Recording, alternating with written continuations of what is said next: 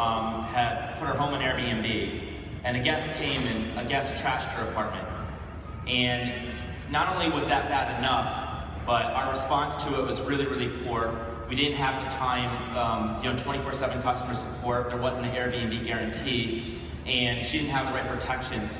And this ended up becoming like a huge media storm, and it was a huge wake-up call. And at the time, our startup, we had had massive growth, massive success. It felt like you're a plane flying 30,000 feet in the air, and all of a sudden, just like the plane starts coming down to earth. And it was really, really intense. And that was a huge wake-up call for us. And we realized then, you know, a lot of people say, you know, the core invention in Airbnb very well wasn't that you could book a home. It was trust. The idea that trust and safety actually could work, that they're not strangers, they're people you haven't met yet, and we can actually bring their identity on the platform and give them the peace of mind. And in that period of time, after that event, we did a number of things. We had 24-7 customer support. We added a $50,000 host guarantee that's now a million dollar guarantee. We've since then done a verified identification, and we've done a lot of things since then. And ever since, we've tried to really be proactive and constantly thinking through for the 60 million people that have been using Airbnb and hopefully for the hundreds of millions more, how can we prevent as many things from happening? And this has been something that we've always now tried to anticipate. Yeah. Yeah.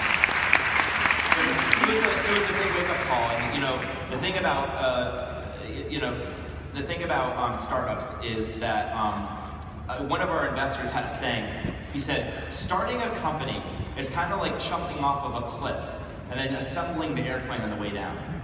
And it's kind of a metaphor for like how you have to just scramble to get as much done as possible, as quickly as possible. Yeah, plus in a company like yours or ours, if I may venture to say so, it's even more complicated because you're not selling products, you're selling uh, people and experiences. So that's it's uh, more difficult to keep a certain standard because I mean homes, people are not up to the same standard.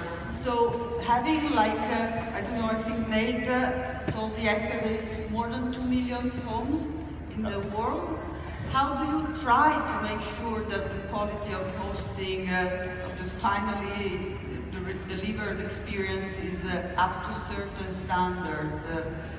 If there is a way to do so. Yes, there's, there's good and there's great. So we want to make sure that every property, every home on Airbnb is uh, at least good. Uh, and for that we have certain standards. We have a set of hospitality standards, uh, things around uh, responsiveness and cancellation and cleanliness. Uh, and all, these are things that we can largely enforce through automation. So we have algorithms that calculate these things. Um, there's also things that we can measure uh, that are more subtle. So things like uh, how often is the profile viewed, and if it's viewed, does the person end up contacting the, the person? Does, do they end up booking, or do they do they bounce? Do they leave the page?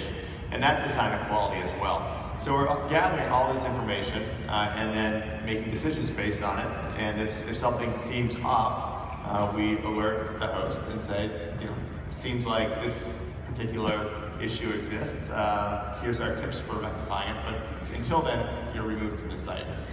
Um, this allows us to make it really easy to sign up, um, but also enforce standards and, and, encourage people as they learn about Airbnb to make sure that they're meeting the standards.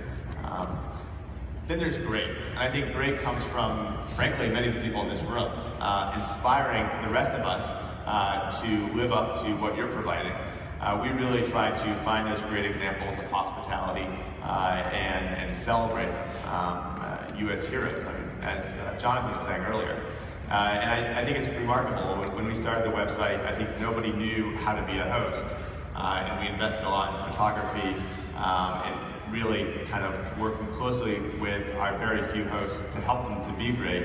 But by doing that, the new hosts that signed up started to emulate that behavior. And I think it's been reinforced uh, since then. And, and, now that we're so large with 2 million homes, I think the launch of our mentors program yesterday and some of this new uh, educational content that's meant to bottle up some of these best practices will also, also help us to spread uh, the greatness that many of you have already demonstrated. Yeah, talking about wanting to emulate, uh, I have a question from Andros from Cyprus. That was collected through, your, through the app. Uh, maybe Joe, you can uh, answer. Do you have any amazing story about a host you came across during these years that is that can be kind, kind of inspiring for us? Funny you should ask. I beg pardon? Funny you should ask. Um, there's thousands of amazing stories, many in this room, of what hosting means to you and has done for you, and thousands that both Brian and Nate and the rest of the Airbnb team have heard over the many years. We could actually spend the rest of the day just sharing stories that would probably bring you to tears. They're, they're so powerful. Um, stories of, of in India provides incredible hospitality to his guests and, and taught, taught me Ati Devo Baha. Have I got that right, Nailan? Wherever you are, where's Nailan? Nailan, where are you? He's in the bathroom. Okay, so I'll find him later. Um, so, and that means in, in, in, his culture, the guest is God. And I think um, there's stories, uh, I finally got to meet somebody who um, Brian and Nate have met already, a guy named Pepe from Spain, who a couple of years ago had a story of taking, of wanting to go to a meetup uh, in Spain that we were holding and having to travel a very far distance to get there. And for us, it was an early sign of the dedication of the community to Airbnb. He actually got an 18-hour bus ride to come to a meetup. I believe, Brian, that you were at. Um, so there's, there's all kinds of stories. I had an amazing conversation last night at dinner with, I'm going to try the name, it's in, it's in Spanish, Adelaida and Javier. Adelaida and Javier, are you here this morning? Adelaida and Javier and their amazing 10-year-old son. I met them the other night too. Mario? Yes. Yeah. But apparently they're also in the bathroom as well. So um, we just had an amazing conversation. Their listing is in Bergondo, Spain, which is sort of in the northwest corner of Spain. And they walked me through the listing. I looked at their reviews and you get a sense of the depth of connection that was being created by them for their guests. They told me stories about uh, guests who'd come from parts of Africa and had literally been stowaways on, on a boat and stayed with them and had never been to a restaurant before, had never, uh, they took them to a, to a Japanese restaurant. They'd actually never experienced going out to dinner. And so the, the experiences that they were affording their guests, taking them on sailboats, as part of staying with them. They take you out to the bay and teach you how to sail. Um, since they have a 10-year-old son, a lot of families stay with them. And um, it's a way for their son to learn new languages. Um, I heard a story about a host in San Francisco, Rosalinda, who uh, she's from South America and her, her second language is English. And she came up to us and she said, Joe, I have to thank you because over the past year, I have now become proficient in the English language because I've had so many guests stay with me in my home. But it's not only me, my six-year-old daughter is now fluent in English thanks to the guests that have come from around the world to teach her English.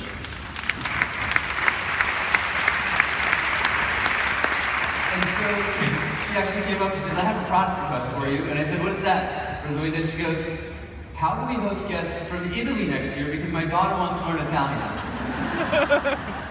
So this is taking place all over the world, stories like this, and um, you know, they wouldn't happen without you and your hospitality and the amount of care that you put into your guests. Thank you. And yeah, you, you were talking about experiences, in fact. Uh, that, one thing I'll say um, about uh, the host, that, I think that there's, like each of us, uh, Jody and I have probably so many stories of hosts we've met all over the world. And, um, it, you know, in fact, like I remember the first time we came to Paris, you know, I, I had never been to Paris before um, October of 2009, so it would have been, I think it was six years ago. And um, the really cool thing about Paris, the first time I came to Paris was through Airbnb. I experienced Paris through its people. And um, one of the hosts we met there was like one of our top hosts in Paris, and we didn't have many host back then, and of course that person was Clement, who's actually the person hosting this entire Open. And I, I think it's a really cool, powerful story that not only for most companies, um, you know, most companies, uh, you know, the community are your fans. And in our case, the community aren't the fans, they are the product. They're what we live, live and die by. And they're not only the product, but they're sometimes the ones that are joining our team and building everything that we're a part of.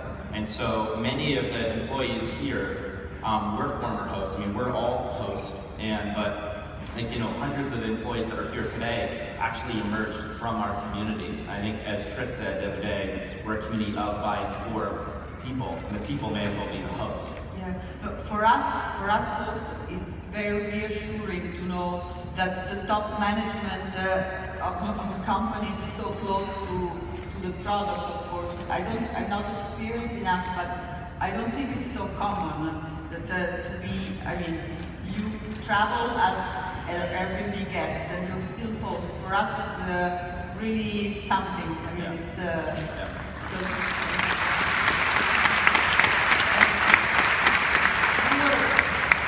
you were, talking uh, about experience uh, Yeah. in the end, and experience I feel it's really the major difference uh, between provided by hosts, uh, which are Airbnb real asset, I think.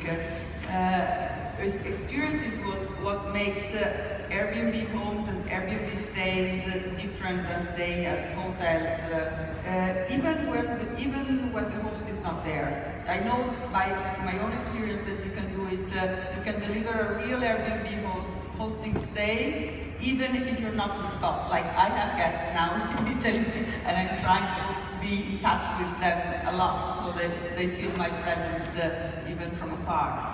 But uh, and thinking about experiences, we have a question from Christian Sweden that tackles a problem we've been wondering, another problem, a, a possible development we've been wondering about. There's been some rumors about a fun pilot in San Francisco where Airbnb is moving beyond accommodation at Airbnb homes. And some even say experiences, so that it's gonna like broaden the, its scope within our travels. Uh, any news, any announcements about that? Yeah, um, well, I think that um, our, our mission is to belong anywhere, and anywhere is, is not belong in a house, it's belong anywhere in the city. And I think that ultimately hospitality is, uh, is not limited to your house. In fact, when we hosted, Joe and I hosted Amol, Catherine, and Michael that very first weekend, um, you know, most of the time we actually spent with them was not in a house. We actually took them to dinner, we went to design events, we went to conferences. And I think all this experience made them actually feel like they lived in San Francisco. And so actually I have a talk this afternoon, I think it's around four-ish, four o'clock, where I'll talk a little bit more about maybe where Airbnb is going to be going um, beyond the home. And we don't have any specific announcements, but I think that the one thing I would say is that your hospitality just generally, even if you're hosting, isn't necessarily limited to your house. Um, and we can talk maybe a little more later today about what that can look like. Mhm, Thank you very much. And we have a question from Charlotte, France, who would like to know what do you think is the biggest problem that hosts deal with? Any of you? Just one. Uh, I, I think one general challenge, I don't know if it's the most acute, but it's, I think it's definitely present for all of us, uh, is I think expectation management. Right? Uh, what we do is, is still relatively new for a lot of people. Um, there's a lot of first-time guests, and so really trying to understand what is it that the guest is expecting, and also explaining what it is that I provide, uh, and making sure that's a good fit, and doing that in a way that um, is, of course, you know, very diplomatic, friendly, open, but also kind of to the point as well. I think that's probably a challenge we've all felt at one point or another. what do you, what's your feeling, Brian? Um, maybe a couple come to mind. Um, one is, um, you know, customer experience or customer service. Imagine if the, the phone number was just one click away and you could find it very, very quickly and you called us and we answered the phone within seconds and solved your problem immediately. And that is something that we certainly have a vision to do. We literally have millions of people that contact us every year. So, but we have a vision of providing much, much better service even what we do. But our team works so, so hard. But you gotta know that we are investing an enormous amount around providing great service. And we know that many of you want to have even a higher level of service. This is something that we're absolutely committed to. We've heard you loud and clear about this. So I wanted to say that.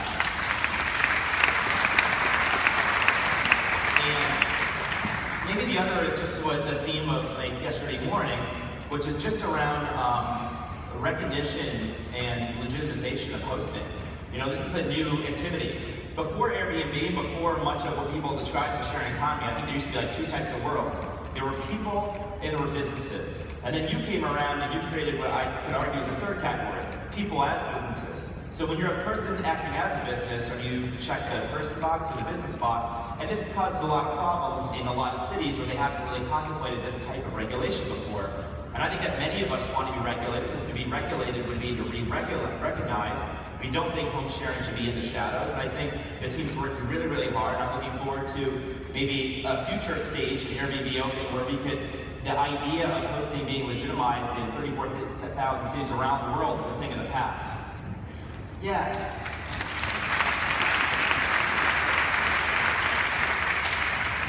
Uh, I'd say from the perspective of, of being a host and checking guests in and turning listings over and getting ready for the next guest and prepping it and having getting the flowers out and making sure that the, the fridge is stocked and that the bed is just right and the sheets are tucked in on the sides and all these little tiny details that, that we notice and we hope the guests notice as well. It can be very tiring. it, it takes a lot of work to do that over and over and over again and to do it with the same level of passion and the same level of craft and the same enthusiasm time after time to make sure each guest has that same delightful experience when they open your door and they have the moment of truth.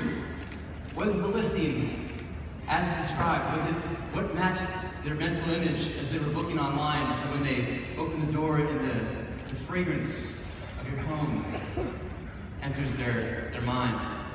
And one of the things that, um, that I've done along the way to help overcome this is to build a team.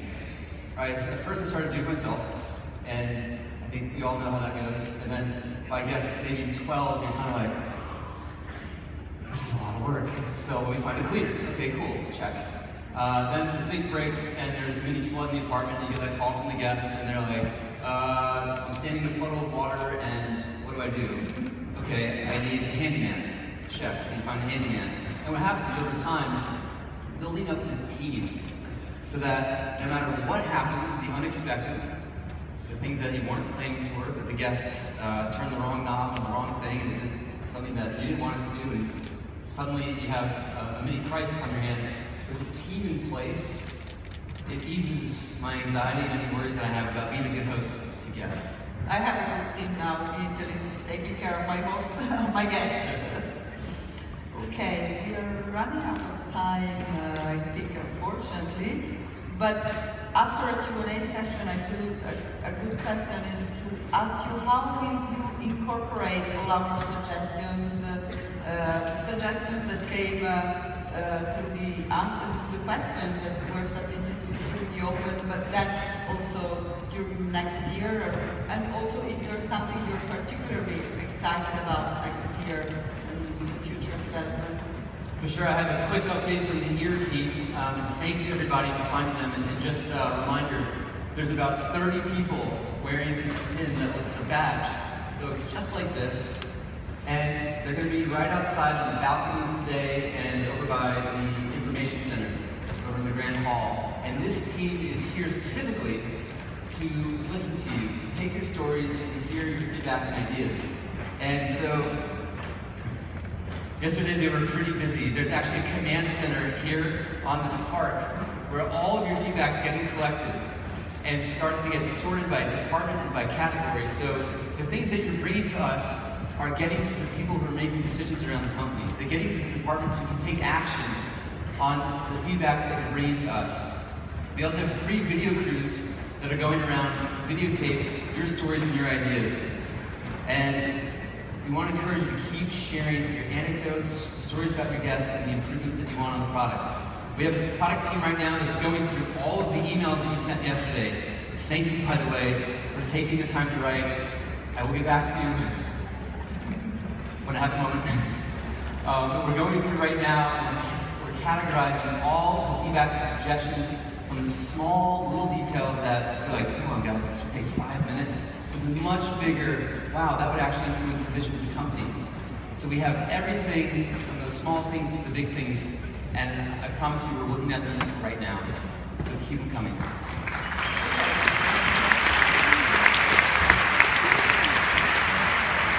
Thank you very much.